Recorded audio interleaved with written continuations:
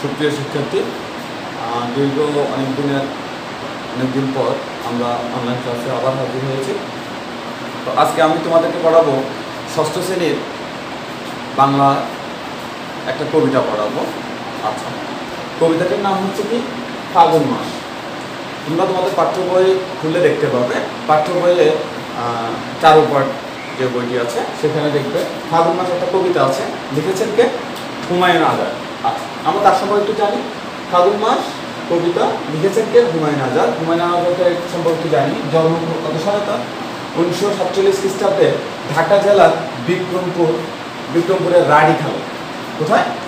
ঢাকা জেলায়, অর্থাৎ বর্তমানে আমাদের যেখানে রাজধানী রয়েছে, সেখানে তার জন্ম এটাকে কি বলতো? রাড়িখাল বলতো কিন্তু বর্তমানে তার নাম হচ্ছে মুন্সিগঞ্জ জেলা ঠিক আছে? আচ্ছা। তাহলে ঢাকার মুন্সিগঞ্জ জেলায় উনিশশো সাতচল্লিশ খ্রিস্টাব্দে তিনার জন্ম জন্ম লাভ করেন। এবং তিনি আসলে কী ছিলেন? তিনি আসলে কিসে বিখ্যাত ছিলেন? অর্থাৎ কিসের উপর তার নাম ডাক ছিল আমরা বলি না যে উনি একজন শিক্ষক উনি একজন সাংবাদিক উনি একজন ডাক্তারের এ ধরনের একটা নাম ডাক থাকে না। তাহলে উনি কিসে বিখ্যাত ছিলেন উনি ছিলেন বাংলা ভাষা এবং সাহিত্যের একজন গবেষক। অর্থাৎ আমরা যে বাংলা ভাষায় কথা বলি, সে বাংলা এবং সাহিত্য সাহিত্য বলতে আমাদের যে কবিতা রয়েছে, গল্প রয়েছে, তারপরে এই কবিতা, গল্প, তারপরে ছোট গল্প, উপন্যাস, নাটক, এই জিনিসগুলো নিয়ে তিনি কী করতেন? গবেষণা করতেন, অর্থাৎ চিন্তা ভাবনা করতেন, ঠিক আছে? তাই ওনাকে বাংলা ভাষা এবং সাহিত্যের কী বলা হয়? একজন গবেষক বলা হয়। আচ্ছা। ওনার পদবি কি ছিল? অর্থাৎ উনি কী কী জিনিসগুলো আমাদেরকে দিয়ে গেছেন? তার কর্মজীবনে অর্থাৎ তার জীবনে উনি কী কী কাজগুলো করেছেন? তিনি কী করেছেন? তিনি প্রথমত ভাষা বিজ্ঞানী ছিলেন অর্থাৎ যেহেতু তিনি বাংলা ভাষা এবং সাহিত্য কী ছিলেন গবেষক ছিলেন এগুলো চিন্তাভাবনা করতেন। চিন্তাভাবনা করতে নতুন নতুন জিনিস আমাদেরকে আম, উপহার দিয়েছেন। এই জন্য ওনাকে কি বলা হতো? ভাষা বিজ্ঞানী বলা হতো। এছাড়াও তিনি ছিলেন কবি অর্থাৎ কবিতা লিখতেন। অনেক সুন্দর সুন্দর তার ওনার অনেক কবিতা রয়েছে। এই জন্য ওনাকে কবি বলা হয়। উপন্যাসের কথা উনি উপন্যাস লিখেছেন। বড় বড় গল্প যাকে আমরা বলি, সেগুলোকে আমরা উপন্যাসিক বলি। আর যে প্রাবন্ধিক, অর্থাৎ প্রাবন্ধিক বলা হয় তাকে সত্য ঘটনা অবলম্বনে তিনি অনেকগুলো কি লিখেছেন? গল্প লিখেছেন, তাই?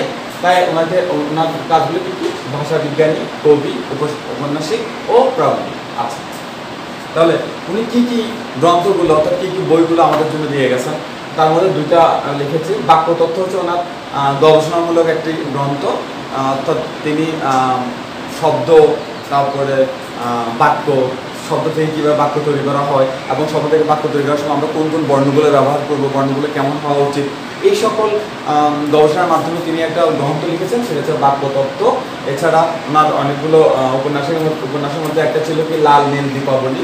এছাড়া ওনার আরও অনেক গল্প, ছোট গল্প, তারপর উপন্যাস, নাটক, অনেক কিছু আছে, ঠিক আছে? উনি মৃত্যুবরণ করেছেন কত সালে? দু সালে জার্মানির মিউনিক শহরে তিনি কি করেন মৃত্যুবরণ করেন আচ্ছা ঠিক আছে? তাহলে আমরা এই তথ্যগুলো একটু শিখে ফেলব বা জেনে রাখব, কারণ সেখান থেকে আমাদের এমসিকিউ আসতে পারে, ঠিক আছে? এখন আমরা কি করব? আমরা মূল কবিতায় চলে যাই। তোমরা তোমাদের পাঠ্য বইটা সামনে নিয়ে বসবে এবং কবিতাটা একটু আমি পড়ব, তোমরা একটু দেখ- দেখবে এবং বোঝার চেষ্টা করবে, ঠিক আছে? আচ্ছা কবিতা কবিতার নাম হচ্ছে ফাগুন মাস।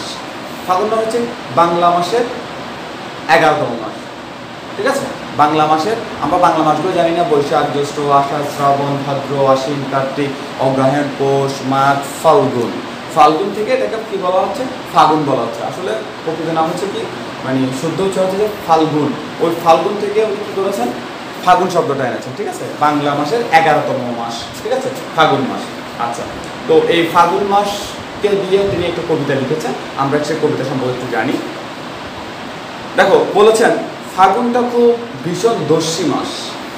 পাথর ঠেলে মাথা উঁচোয় ঘাস, হাড়ের মতো শক্ত ঢাল ফেড়ে সবুজ পাতা আবার উঠে বেড়ে। সকল দিকে বনের বিশাল গাল, ঝিলিক দিয়ে প্রত্যহ হয় লাল। বাংলাদেশের মাঠে বনের তলে, ফাগুন মাসে সবুজ আগুন জ্বলে। দেখো, বুঝছ? এই ফাগুন মাসটা কি মাস? দস্যি মাস। আচ্ছা দস্যি মাস বলতে আমরা কি বলছি? দুরন্ত মাস, যেটা অন্যান্য মাসের তুলনায় একটু আলাদা, ঠিক আছে?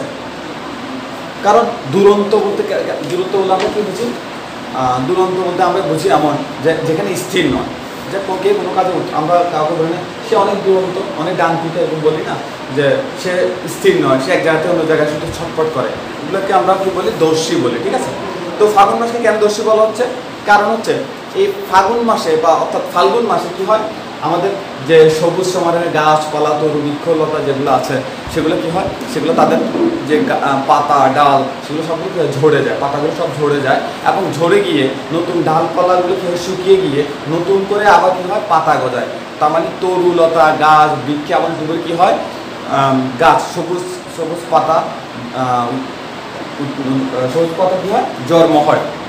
অর্থাৎ একটা গাছে যে সবুজ পাতাগুলো রয়েছে সেই সবুজ পাতাগুলো ঝরে সবুজ পাতাগুলো রয়েছে, সেগুলো হলুদ হয়ে যায়, হলুদ হয়ে সেগুলো ঝরে নিচে পড়ে যায় বা সেখান থেকে আবার সবুজ নতুন করে কী হয়? পাতা পাতা উৎপন্ন হয়। এবং এই ফাগুন মাসে প্রত্যেকটা গাছে নতুন পাতা দেখে, নতুন এই সবুজ দেখে আমরা সবাই কি হয়ে যায়? অবাক হয়ে যায়, সুন্দর হয়ে যায়। কিন্তু এই গাছটা তো দেখছি যে মরে গেছে, কিন্তু এখন আবার নতুন করে কি হয়ে, উজ্জীবিত হয়ে গেছে। এই জন্য এই ফাগুন মাসকে দস্যি মাস বলা হয় এবং বলছে, দূর থেকে দেখলে মনে হয় যেন সবুজের আগুন লেগে গেছে। অর্থাৎ একটা সময় যখন আমরা গাছের দিকে ডালপালার দিকে কিন্তু গাছগুলো সবগুলো মরে গেছে, একদম শুকিয়ে গেছে। কিন্তু এই ফাগুন মাসের আগেই সেটা হয়ে যায়। ফাগুন মাস আসার সাথে সাথে দেখা যাচ্ছে ওই ঝরে যাওয়া ওই শুকনো ডাল থেকে আবার কি হয়? নতুন পাতা জন্মানে এই জন্য এগুলো এই ফাগুন মাসকে কবি কি বলেছেন? সবুজ আগুন জলে বলছেন, ঠিক আছে? আচ্ছা ফাগুনটা খুব ভীষণ দুঃখী মাস। এখন কি বলছে ফাগুনটা দুঃখী মাসও কেন? হাওয়ায় হাওয়ায় ছড়ায় দীর্ঘশ্বাস, ফাগুন মাসে গোপাল কাঁদে বনে, কান্নারা সব ডুকরে উঠে মনে। ফাগুন মাসে মায়ের চোখের জল, ঘাসের উপর কাপেশ যে টলমল ফাগুন মাসে বোনেরা উঠে কেঁদে, হারানো ভাই দুই বাহু বেঁধে। আচ্ছা বলছে, এই ফাগুন মাসটা কিসের মাস? কষ্টের মাস। দুঃখের মাস। কেন? আমরা জানি সেটা। আমরা জানি উনিশশো বায়ান্ন সালে ভাষা আন্দোলন হয়েছিল।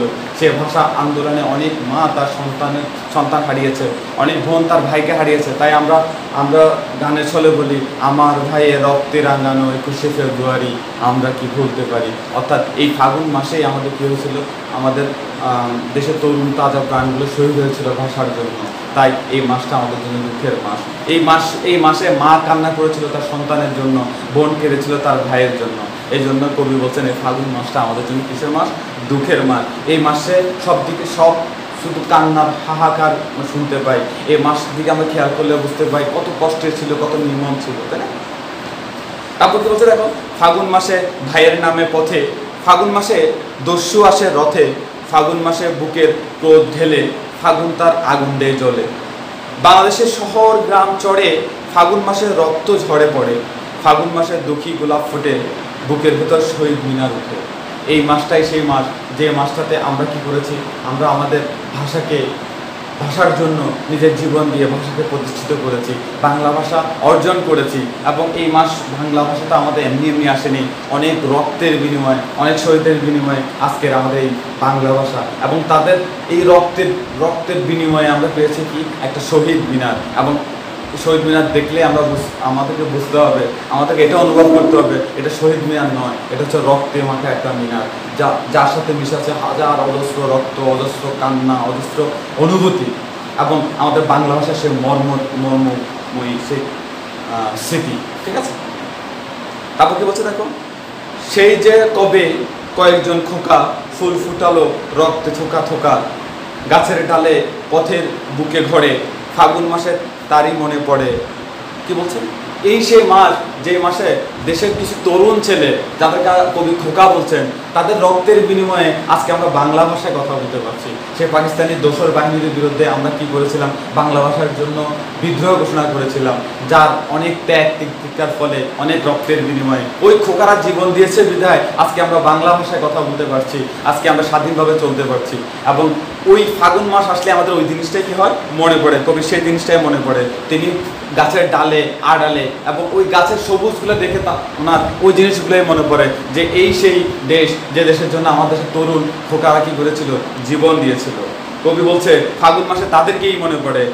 সেই যে কবে তিরিশ বছর হলো, ফাগুন মাসে দু চোখ ছলো ছলো, বুকের ভিতর ফাগুন পোষে ভয়, তার খোকাদের আবার কি যে হয়? সেই সেই উনিশশো সালে আমাদের দেশের খোকারা, আমাদের দেশের তরুণ ছেলেরা কি করেছিল? বাংলা ভাষার জন্য জীবন দিয়েছিল। তাই এই মাসটা আসলে তাদের কথাই আমাদের খুব মনে পড়ে। আবার চিন্তা করে চিন্তা করছে যে আবার না হয় এই ধরনের কোনো বিপদের সম্মুখীন হতে হয়। তাই কবি প্রত্যেকটা দেশের প্রত্যেকটা সবুজে, প্রত্যেকটা ডালে, প্রত্যেকটা গাছে, প্রত্যেকটা তরুলতায় যখন নতুন পাতা গজে ওঠে, তখন কবির সেই খোকাদের কথা, সেই তরুণদের কথা, যারা রক্ত দিয়ে রক্ত দিয়ে নিজের জীবন দিয়ে আমাদের বাংলা ভাষাকে প্রতিষ্ঠিত করে গেছেন, আজকে আমরা বাংলা ভাষায় কথা বলছি, তাদের কথাই মনে পড়ে। তাহলে আমরা এই কবিতা দ্বারা কি বুঝলাম? এই কবিতা দ্বারা আমরা এতটুকু শিখলাম যে ফাগুন মাস একটি মাস নয়, এটা আমাদের জন্য একটি স্মৃতিবহ, একটি দস্যি মাস, এটি আমাদের জন্য দুঃখের মাস, এটা আমাদের জন্য কষ্টের মাস, এই মাস আসলেই আমরা তাদের কথা মনে করব, তাদেরকে স্মরণ করব। ঠিক আছে? এবং এই মাসে আমাদেরকে মনে করিয়ে দেয় যে এই বাংলা ভাষাটা সহজ ছিল না। পাকিস্তানের বিরুদ্ধে আমরা যুদ্ধ করে, আমরা আমাদের জীবন দিয়ে, আমাদের রক্ত দিয়ে আমরা এই বাংলা ভাষাটাকে প্রতিষ্ঠিত করেছি, যার ফলশ্রুতিতে আমরা মুক্তিযুদ্ধ করেছিলাম এবং দেশের স্বাধীনতা অর্জন করেছি এবং বিশ্বের মানচিত্রে বাংলাদেশ নামক একটি দেশে কী করেছি? প্রতিষ্ঠিত করতে পেরেছি, ঠিক আছে? তো তোমরা বাসায় পাঠ্য বই থেকে কবিতাটি আবার ভালো করে পড়বে, সেখান থেকে কী পড়বে? সাথে এই শব্দার্থ এবং টিকাগুলো মনোযোগ দিয়ে পড়বে, এখান থেকে এমসিকিউ আসতে পারে এবং অবশ্যই অবশ্যই পাঠ পদ্ধতিটা মুখস্থ করার চেষ্টা করবে, ঠিক আছে? আজকে এতটুকু পর্যন্তই। আগামী ক্লাসের জন্য শুভেচ্ছা থাকল এবং আগামী ক্লাসে আমরা নতুন কোনো কবিতা বা গল্প নিয়ে আসব। তার ওই পর্যন্ত ভালো থাকবে, সুস্থ থাকবে বাসা থাকবে, ঠিক আছে? আজকে এতটুকু, আল্লাহ হাফিজ।